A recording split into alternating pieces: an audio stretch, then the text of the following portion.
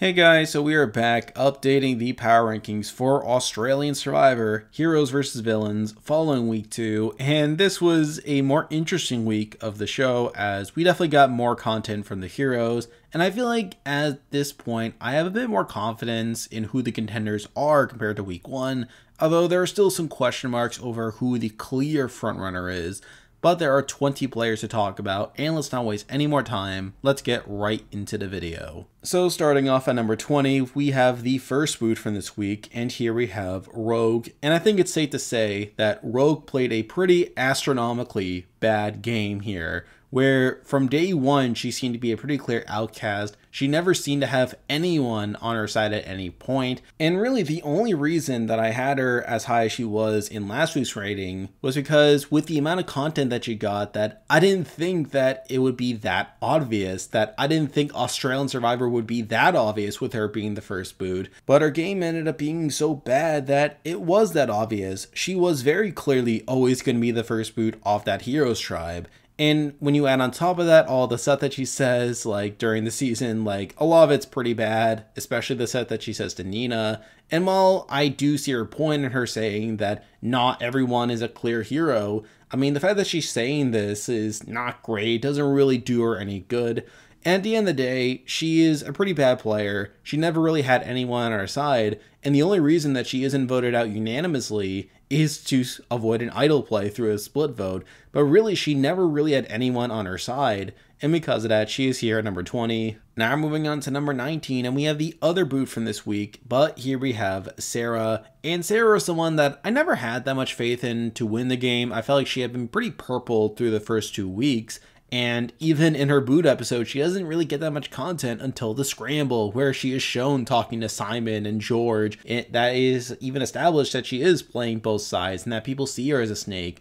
And at the end of the day, I feel like Sarah played a pretty lackluster game where she did try to play actively. She did try to play both sides, but obviously in doing so, she didn't really build the social bonds to make people trust her. And at the end of the day, that caused a lot of people to flip on her to where it was pretty much a unanimous vote, which is even more mind boggling. So while I do appreciate the effort of her trying to play the middle, I think the fact that she was voted out so clearly really shows that she didn't really have anyone on her side and that she didn't really foster much trust with much people. And mixing that with the edit, I don't really have much to say on her. So because of that, she is here at number 19. And with that, there are 18 players left in the game to talk about. And as usual, I'll be ranking them based on how likely they are to win the game, based on their edit and current game position. But at number 18, we have a player that I was pretty low on before, and I'm still low on them now. But here we have David. And I asked this question last week, but I'll ask it again who is David? Now, to his credit, he does get a bit more content in this week where he is shown talking about the plan to blindside Haley, which doesn't go through, so even then, that's kind of a nothing thing. And he is technically the one to find the idol clue, but even then, he hands it off to Sam, and ultimately, Sean is the one to find the idol. So, really, I feel like David is the most purple person in the edit up to this point. I feel like he is the least important player within the men's alliance and really by extension in the entire game. I feel like there's nothing I can say about this guy at this point, which is why I do have him here at number 18. Now moving on to number 17, and we have a player that's kind of similar to David, but I feel like we know him a little bit better. But here we have Fraser. And realistically, I think I had Fraser a little too high in my week one power ranking. But even then, I feel like he was someone that I felt like I got to know at least a little bit better. But I feel like now he has such a low priority within the edit to where his main focus is, I guess, his relationship with Jordy. So he's the second in command to Jordy, who, to be fair, is playing a pretty good game. But considering that Jordy himself isn't the most prominent player in the edit, I mean, I feel like I have nothing really to say about Fraser. And at this point, I don't feel that confident that he's going to win the game. So because of that, he is here at number 17. Now moving on to number 16, and we have the biggest course correction compared to week one. But here we have Simon, and I'll say it out loud. I made a mistake by putting Simon too high. I had a misread on his edit. Now, if I'm being honest, even by the time week two was starting, I was starting to regret my choice of having him at number one as I started to see more of the red flags and really started to take more weight in, into them. But I feel like now, after seeing week two, yeah, it's pretty obvious he's not winning. Where even JLP is sort of mocking Simon in the previously on segments, where it's basically confirmed at this point that the idol isn't real, which obviously it's very bad. I mean, he himself seems to believe that the idol is real, and that so much of his storyline is focused on him trying to play correctly. And I feel like it's all just going to culminate with him trying to play the idol for him to find out that's not real, and then for him to probably be voted out by George so that's not great. And even outside that, he's just been dunked in the edit so much this past week where it's pretty much confirmed at this point that he has tunnel vision of voting out George. He even tried to vote out George again at the last tribal, but doesn't get his way there, which is pretty bad. You obviously had George and other people pointing out that he's bossy and that his ego's getting in the way, which completely contradicts his storyline of his ego, like being something that he wants to hold back. So I'll admit it. I made a mistake. Simon is clearly not winning this game. He's clearly being set up for a downfall. And I feel like all the stuff that I said last week about him being this warning sign for George is more so a way of propping up George's edit. And we'll talk about George more when we get to him. But I feel like George is being set up for a deeper run than Simon is, which is pretty bad. Simon's end, I feel like Simon is being set up for a downfall. And I made a mistake, but now I'm correcting it and because of that, he is here number 16. Now we're moving on to number 15, and I did consider putting this person a bit lower on the list, but I did decide to bump them up just a little bit. But here we have Benjamin, and this was a pretty bad week for Benjamin, where his main content is in episode 5, where he gets his intro package and he's talking about being a journalist and how it's going to get people to trust him. And he even goes as far as to say that his strategy is to play a loyal and honest game which is then immediately followed by him making a fake idol for seemingly no reason, and in doing so, completely undercuts all the trust that he was talking about building. And it seemed like he is on the outs more so than it seemed on the surface. Now, yes, it does seem like Haley and maybe Nina and Flick are kind of on his side, but considering that he himself has not gotten too much content, I can't really justify putting him too much higher Although I will say that there is at least some potential they can make a deep run beyond this, but I feel like with how quiet his edit has been and how immediate the undercutting was after he got his intro package, was enough to leave him here at number 15. Now moving on to number 14, and we have someone who I literally just mentioned, but here we have Nina. And I still stand by what I said last week about her probably being someone that should have gotten way more content than she actually did, but it's due to her not getting that content that really made me unconfident in her chances. And even now, I still think Nina has no shot of actually winning the game.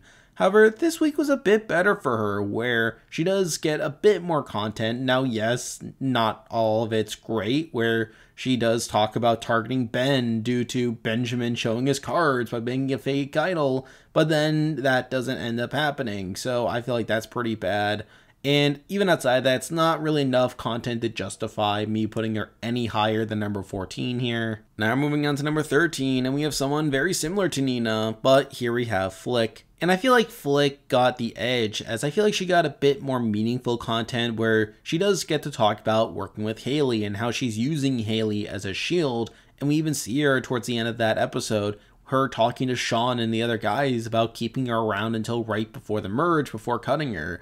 So I feel like that alone makes it a bit more significant in my eyes compared to what Nina got. But at the end of the day, I still can't really justify her being any higher on the list, especially considering how quiet she's been outside of that. So because of that, I, I do have her here at number 13. Now we're moving on to number 12, and we have another returnee on the Heroes tribe, but here we have Sam. And I think Sam has the most consistent presence between Nina and Flick, where he does seem to be emerging as a bit of a narrator. Now, granted, a lot of his content is talking about them winning the rewards, which, again, is a bit boilerplate. However, he does also seem to be building this rivalry with Sean, where Sean is talking about like him being naive and him hiding the idol from them despite the fact that they're supposed to be allies. However, I also think Sam has been up to a degree as well, which makes me think Sam is being set up for a relatively deep run and Sam did get a bit more content like in week one. That makes me a bit more comfortable in me having him this high in the list. but I still feel like he's not a major character in the grand scheme of things, which is why I have him here at number 12. Now I'm moving on to number 11, and we have someone that literally got no content this week, but they definitely got some stuff in week one. But here we have Liz, and realistically, Liz is probably a bit too high given the amount of content that she's gotten. However, the main reason she's as high is because of her relationship with Shonee, who I do think is a major character. Now, obviously, we'll talk more about Shonee later on, but I think that alone is enough to give Liz a bit of longevity in the game and at least some potential to overshadow Shonee in the case that Shonee is taken out earlier in the game. Now, at the end of the day, I still don't feel that great about Liz given her lack of content, but it's at least enough to have her here number 11. Now we're moving on to number 10, and we have someone who realistically should be a bit lower on the list. However, I still can't shake their premiere, but here we have Matt. And Matt was pretty invisible this week. He got very little content, and yes, we do know that he's part of the Guys Alliance, but outside of that, there isn't really too much to prop him up for. Really, the only reason I have him even this high on the list is because of his premiere, which I felt like was a pretty good episode for him. But mixing that in with the fact that he hasn't really gotten anything since then, I can't really justify putting him any higher than this. Although, considering what he has gotten, I feel like it's enough to have him at least in somewhat high contention compared to these other figures, which is why I have him here at number 10. Now moving on to number 9, and we have someone who I definitely juggled around a little bit between these next couple of spots. However, for this list, I did decide to bump them down compared to where I had them before. But here we have Paige. And obviously, some not great stuff has come out about Paige in recent days, particularly with her being a trophy hunter, and say what you will about that. However, I feel like compared to some of the other heroes, I feel like there's a bit more I can say about Paige's game. Now, at the end of the day, like, there isn't that much I can say to have her in super high contention. Although she did technically get her way in voting out Rogue, someone who had a personal vendetta against her, largely due to the trophy hunting thing.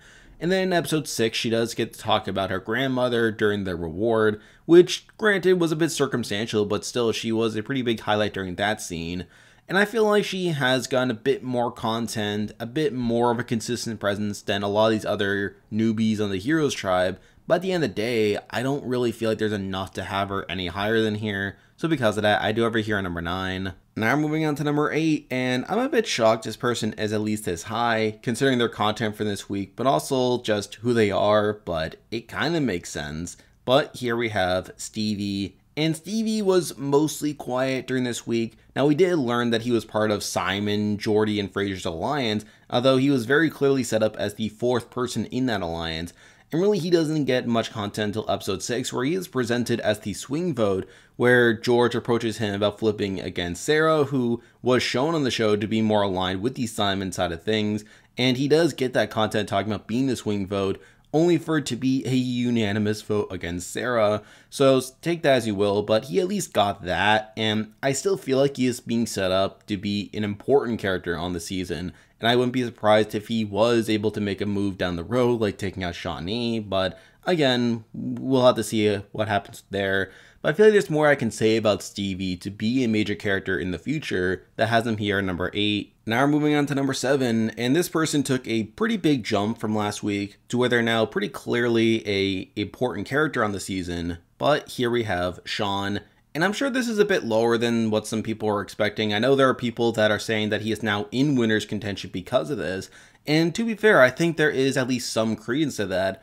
However, after this week, I'm under the impression that he's being set up for a downfall later on, where yes, he is shown being this main character and he is shown explaining his game, like keeping around Haley as a shield and him finding the idol. However, there's other stuff that isn't as great, like he does decide to hide the idol from his allies for seemingly no good reason.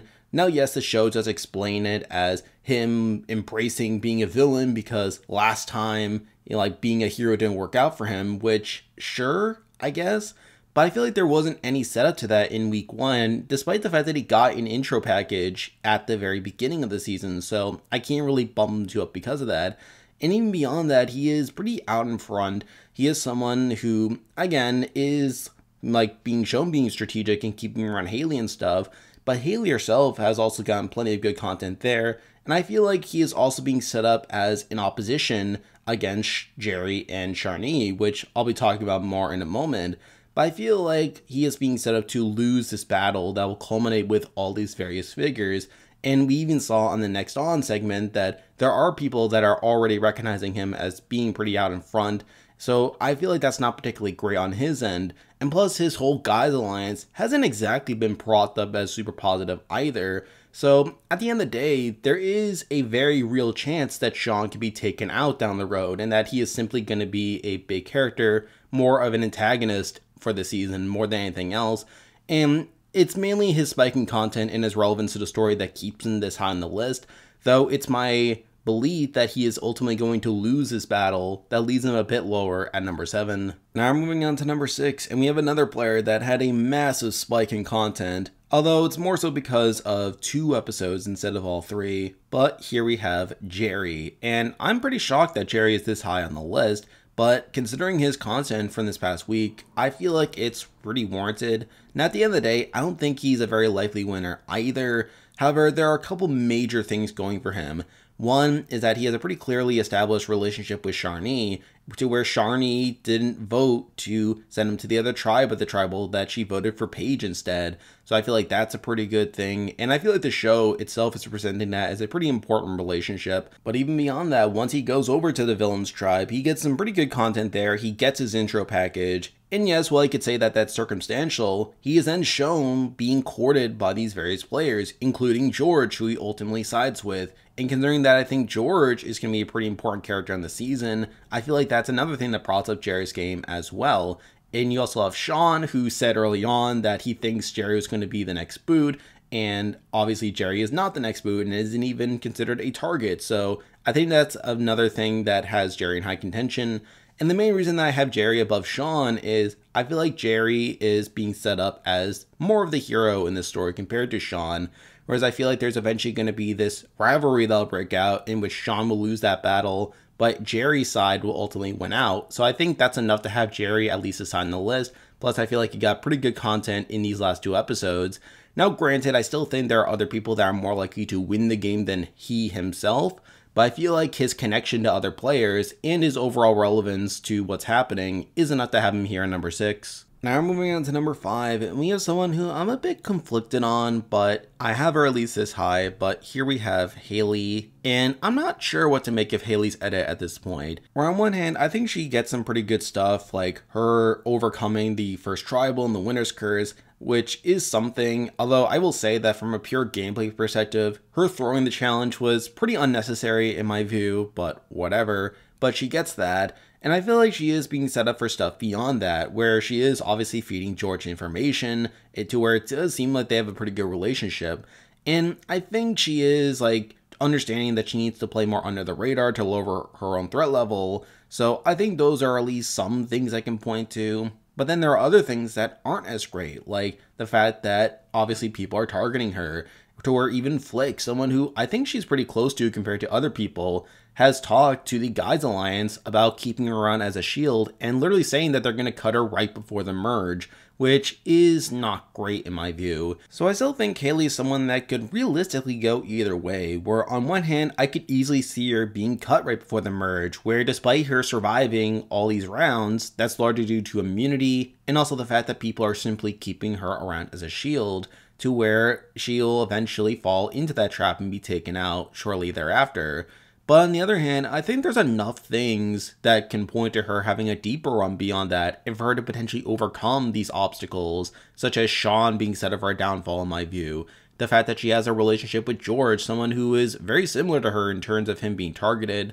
And I think there is a path forward for Haley. Now, it's my uncertainty of where that path will lead that leaves her a bit lower on this list, but I feel like the fact that that path is at least there is enough to have her here at number 5. Now moving on to number 4, and we have someone who is very similar to Haley, but here we have George. And this was obviously a quieter week for George, which, considering it's George, isn't exactly the worst thing in the world, but he still gets content in episode 6 mainly around him courting Jerry, and Jerry does ultimately side with George. And considering that I think Jerry and Sharni are going to be important to the story moving forward, I think that's pretty good there. You also have Simon continuing to get dunked in the edit, and considering that Simon is pretty opposed to George, I think George is ultimately going to win that battle at this point. And I think with his relationship with Haley and the fact that Haley is being able to relay this information to him does give me some like hope for George that he could do well moving forward.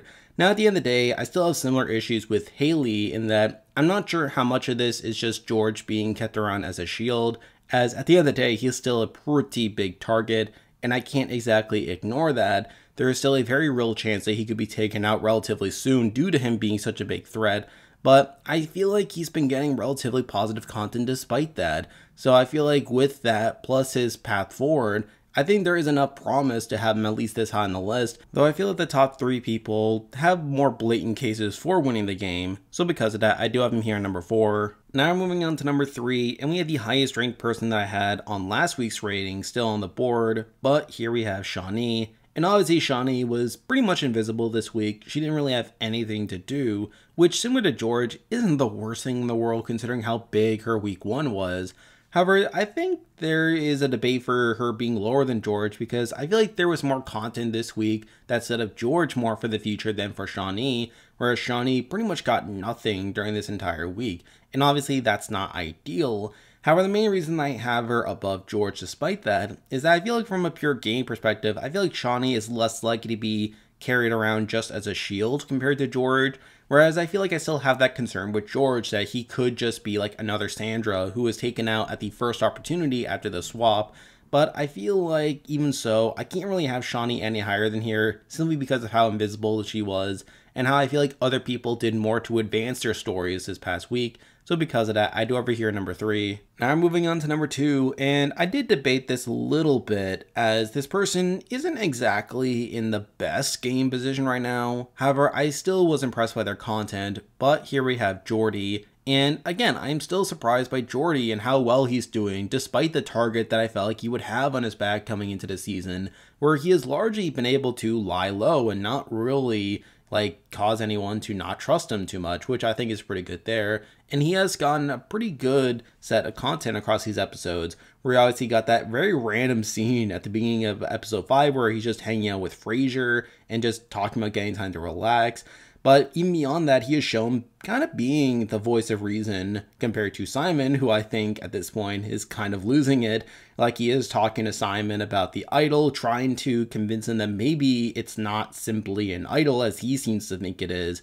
But even beyond that, he has shown like trying to, again, branch out from Simon to not make his game solely dependent on Simon. He's calling out Simon for him being bossy and how he's letting his ego blind him.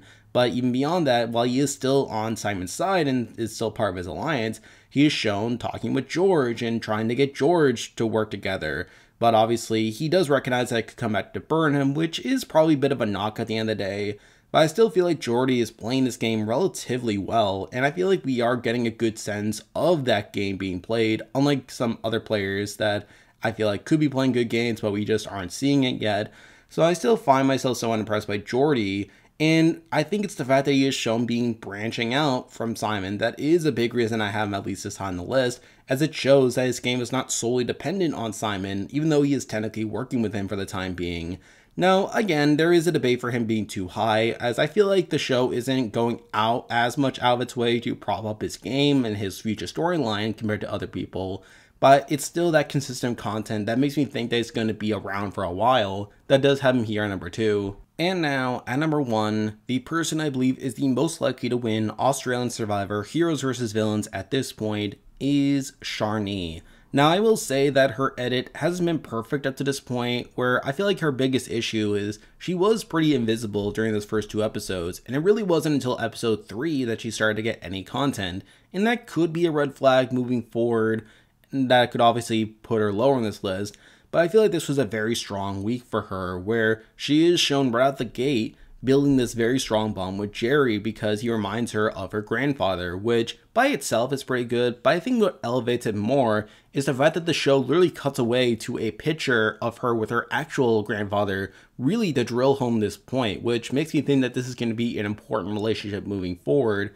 And moving forward, she talks about, again, how close she is to Jerry, even though he's being targeted. And that she says that while she's willing to cut him in order to prevent his injury from getting worse and also to stay within the majority, she is obviously upset by all this and she doesn't want to actually write down Jerry's name. Now, obviously, she does vote for uh, Paige in order to uphold that promise, but obviously, she doesn't get her way there. So I feel like through that end, like it's not only setting up this as an important relationship, but also showing how she's mixing that in with the game and that she's still having level game talk at the end of the day. And moving forward, we see Jerry gain pretty strong content with him recognizing that his position within the Heroes tribe isn't as solid as he thought and that he needs to consider other options moving forward. But considering that Sharni was someone who, again, didn't even vote him out, I think he will probably keep Sharni in that, which obviously benefits her game. And I think Sharni is being set up pretty well moving forward, not only for herself with the content that she's been getting, but also with her being set up against Sean, like for them, like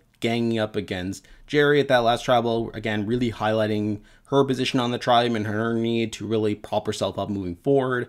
And also other people like Jerry getting set up for a storyline. You have people like George who are interested in working with Jerry and possibly Sharni moving forward as well. I think there's a lot of things going Sharni's way right now that makes me feel pretty confident in her. Now, again, her edit is not perfect. I think her premiere was pretty invisible, and I think that could come back to bite her towards the end of it. But I feel like compared to everyone else, I feel like this was definitely the best week for her. And I feel like for the time being, she's probably the person I had the most confidence in winning, at least among the newbies. But when we're mixing in the returnees as well, I think she is one of the best cases to win based on her edit, so because of that, she is here at number one. And there we go, that will do it for this week's video. If you like this content, be sure to like and subscribe, it really helps out with the channel. Now obviously I'll be back again next week to update the Power Rankings again, so stay tuned for that. Survivor 44 is now well within the preseason, so you can expect more content on that moving forward. And if you haven't already, be sure to join my Discord server, which I'll leave a link to join in the description. There's a lot of stuff coming your way, but for now, that's the video. See ya.